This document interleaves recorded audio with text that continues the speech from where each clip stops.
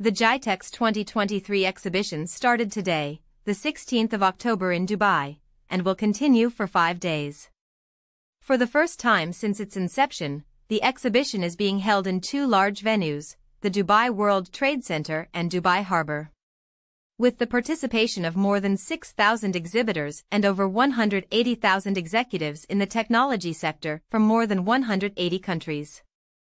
This exhibition represents the primary and only source for discussing the latest advancements in the tech world.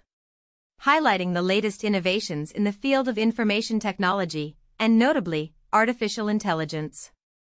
ONPASSIVE, a leading company in the field of artificial intelligence, has a strong presence in the exhibition. Throughout the exhibition days, advanced workshops and various training sessions will be organized. Thank you for following us, and we remind you that we provide daily coverage of the most important and prominent accompanying activities. This has been Olina, your AI news anchor from Omedia Virtual Television.